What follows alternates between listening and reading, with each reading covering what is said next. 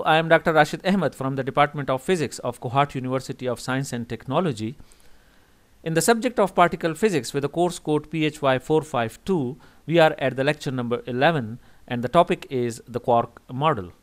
As we know that the eightfold way provided the first ever classification scheme for the elementary particles. However, it was not clear that why the eightfold way is so successful. In order to provide deeper understanding of the eightfold way, Murray Gell-Mann suggested the quark model. The quark model is about the particles hadrons, which are the only particles that feel strong force, and they are in fact composed of even more elementary constituents, which Gell-Mann called quarks. The quark model has two components. The first component is about baryons, for example, protons, neutrons, and lambdas and deltas, that are made of three different quarks and the second component is about mesons like pions, kaons and muons which are made of two quarks that is quark and anti-quark. To provide a clearer explanation, I give you the schematic diagram of hadrons and they are of two types. The first type is of baryons which are made of three quarks and the second type of mesons which are made of two quarks. Here baryon means heavy particles or heavyweight particles and the mesons means the middle weight particles.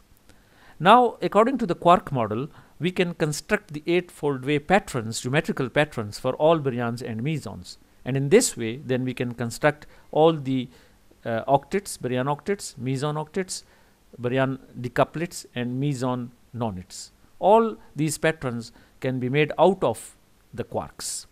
So let's first start with the baryons and construct uh, one example of the uh, quark model that is a geometrical pattern where we can distribute quarks on uh, to uh, for any baryon. We will start with the example of a proton where in a triangular eightfold way for the quarks will be constructed. Since there are three quarks inside a proton or a neutron or any uh, baryon, uh, we can have a triangular geometrical pattern and then as you know that that uh, to every corner of this uh, triangle uh, we will put a particle that is a quark. But before that we have to assign two properties to every corner. The one is the strangeness and the second is the charge.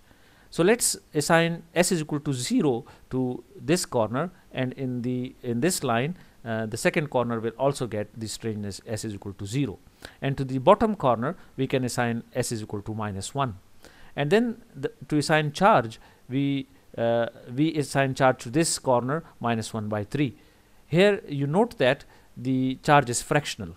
Quarks are the only particles fundamental particles which have fractional charge. But their charge inside the uh, baryons or uh, mesons add up and then the uh, the visible charge is actually integral charge.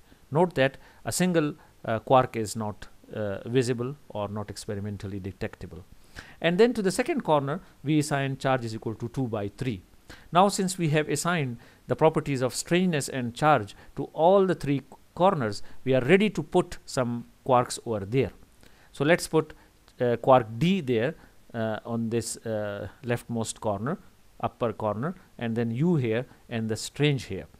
Uh, these are the three flavors of uh, quarks. Uh, in the next lecture of uh, this chapter I will explain all the flavors of the quarks uh, in inside the standard model. But for the moment you can just uh, concentrate on the eightfold way type patterns for uh, for uh, baryons and this is the first ever example we have constructed. And uh, you might be thinking that what about the anti part of this? For example if we have an anti proton then what we can do so we can also construct a similar pattern, but in that case this triangle will be upside down. For example, here you can see that we have uh, uh, inverted the uh, geometrical pattern and now we are ready to assign a strangeness for example s is equal to 1 to the top uh, corner and then s is equal to 0 to the bottom line and then the quarks uh, the charges uh, with the help of two slanted lines and now we are ready to put the anti-quarks at every corner to make up the anti-particle anti-baryon. Now since we have constructed the eightfold way type patterns for the uh, baryons uh, now we show that that the combinations out of the uh, combinations of these three quarks we can construct all type of baryons for example let's go to the baryon decuplet where there are 10 particles and you see that the out of the combination of these three quarks we have constructed all the 10 particles in this decuplet for example the first particle that is lambda plus plus with a strangeness 0 and charge 2 is constructed out of 3 up quarks. And then the 2 up and 1 d quark gives us the lambda plus and so on. And in the bottom you can see this famous omega minus particle with the three strange quarks and this was the particle which was first um, in the eightfold way predicted by the Gell-Mann and then later on experimentally detected. In similar way we can construct the meson nonet out of two quarks combinations of two quarks. Here it is important to note that this last corner there was no particle there with the two strange quarks but then there was an experimental observation of eta prime which has these properties that is strain is 0 and charge 0 and have two uh, made of two strange quarks. So you have seen that the uh, the reason for the eightfold way to work very well uh, was that there were there were more elementary particles called quarks and different combinations of these quarks were giving us the uh, baryons and mesons. But this uh, uh, quark model has also have some problems with it or uh, some advantages or disadvantages associated with it. For example, the exotic particles. The exotic particles were those particles uh, which were which were not allowed by the quark model. For example, uh, a baryon with the strangeness is equal to 0 and charge is equal to minus 2 uh, you cannot construct out of any of these three quarks uh, such particle and then people started searching uh, to find out that whether uh, these particles can be experimentally uh, uh, discovered. And if they were so the quark model would have been destroyed. But never such particle is discovered with the properties which cannot be made out of three quarks. And similar is the case for the meson. For example with s is equal to plus 2 and charge is equal to minus 3 no ever meson exists because no uh, two quarks combination can uh, have uh, can be uh, can be made to have particle uh, of uh, these properties so these were the exotic particles which were searched in 70s and 80s quite heavily experimentally but never found so this is uh, the uh, one um, uh, one successful uh, explanation for the quark model that these uh, exotic particles do not exist. And the second uh, important and very um, you can say famous thing is quark confinement. The idea of quark confinement is that no one ever has experimentally seen the single quark.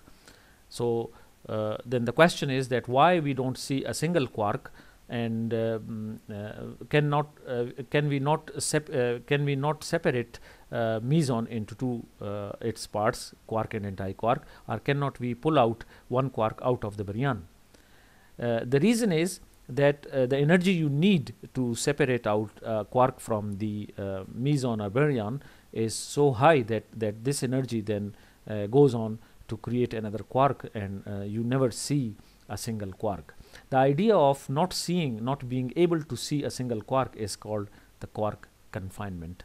But uh, what one can do is to go inside the uh, proton or neutron or any meson and a baryon and their uh, type of uh, do inelastic scattering like uh, Rutherford has done uh, in order to uh, discover the proton uh, where the alpha particle was bombarded on the proton. And there is seen that that inside the atom there there are nucleus exist and protons exist. In similar kind of inelastic scattering one can see that inside protons there are three lumps of charges giving us the uh, experimental observation that there are actually three quarks present inside uh, the proton or neutron or any other uh, baryons and similarly two uh, quarks inside the mesons. So the idea of quark confinement is that single quark cannot be seen. Then uh, there is another very interesting thing associated with the quark model is the color charge. If we go back to this uh, table, uh, here you can see that in the meson nonet we have two uh, quarks in uh, inside a meson uh, of exactly the same nature that is up up. Similar is the case over here. You can see that three quarks inside lambda plus plus they are all three up quarks.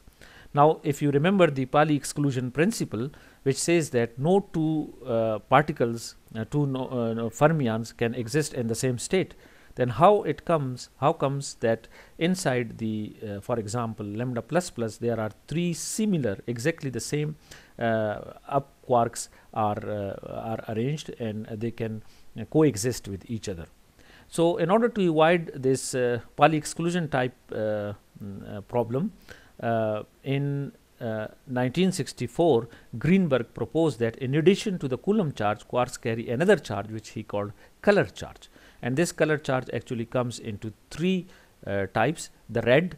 Uh, so, every up quark has a uh, has a red color that is a red charge and then the blue charge and then the green charge. So, every uh, quark comes with three color charges that is red, blue, green. Here it is important that it is a, it has nothing to do with the usual colors, but it is just the aesthetic sense out of which these this charge is named red, blue, green. And it has another very interesting property that since mm, uh, the combination of red, blue, green uh, gives us a colorless uh, thing, so these colors are not observable inside um, our uh, high uh, low energy uh, regime because these quarks naturally uh, uh, combined together and the naturally occurring particles are colorless. So, this is another uh, interesting thing associated with the uh, quark model that bringing us a, a, a, new type of charge which we called a color charge. With this I thank you all and uh, you can ask a question if you do not understand anything. Thank you very much.